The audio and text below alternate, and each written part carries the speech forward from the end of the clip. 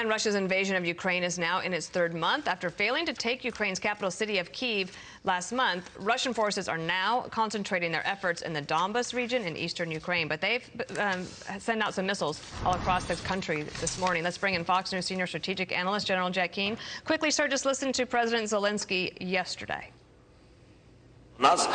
You can't come to us empty handed today. And we are expecting not just presents or some kind of cakes. We are expecting specific things and specific weapons.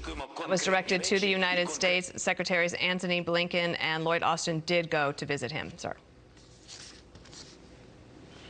Yeah, well, that was absolutely the right thing to do, certainly. And, and, I'm delighted that we just didn't send one of them, we sent both of them, and it certainly added to the prestige of American leadership uh, in the in the capital city.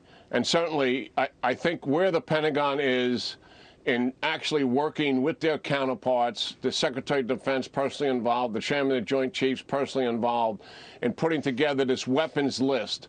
In the beginning, it was a push system. We were pushing weapons we thought they needed. Now it's a pull system. We're only sending weapons that they want. And obviously, they want heavy advanced weapons to deal with the changing nature of this operation that's taken place primarily in the Donbass region. And it's certainly gratifying to see President Zelensky being grateful for what the Americans have done.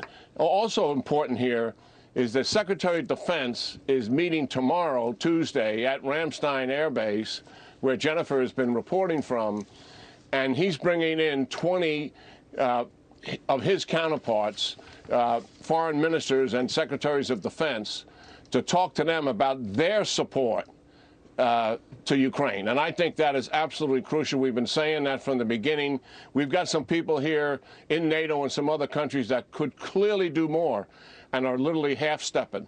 So this is a, an important meeting to get more support beyond what the United States, uh, Britain is doing, what France is doing, to get other nations to fully commit.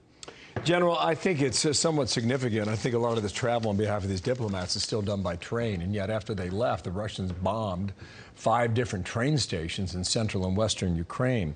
Uh, I also think the thing that's interesting is what Austin, General Austin said while he was there.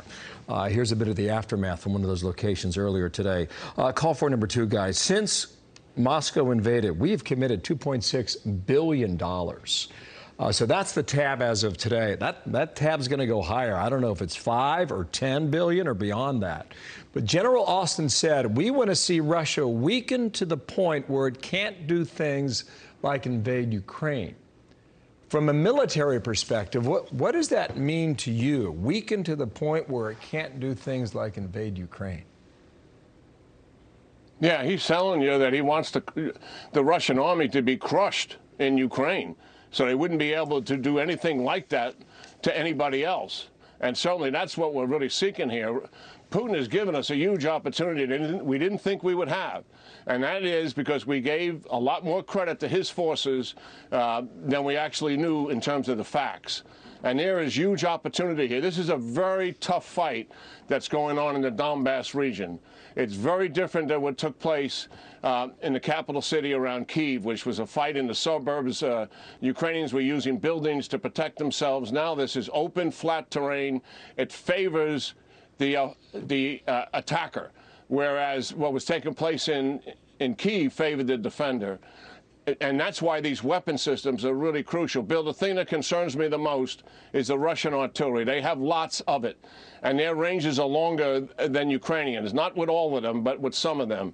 And that's why we need to get artillery in there because artillery can kill artillery using counter battery radar to find it. Mm. And also those drones that we're requesting, they can also take down artillery. We've already seen that the maneuver forces of the Russians are somewhat incompetent, and that's why they've only made small gains.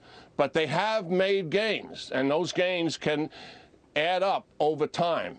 And that is why we've got to crush their artillery as much as possible, because without that, it's very difficult for the their maneuver forces to, to make any uh, sizable advances. Oh. It is a statement. It's getting a lot of headlines. General, thank you. It's good to see you. Thank you. Jack Keane, thanks. Hi, everyone. I'm Brian Kilmeade. I want you to do me a favor. I want you to click to subscribe to the Fox News YouTube page. This is the only way that I know for sure that you're not going to miss any great commentary, any great news bites, any great interviews coming your way on Fox. You can get it all here on YouTube. So subscribe right now.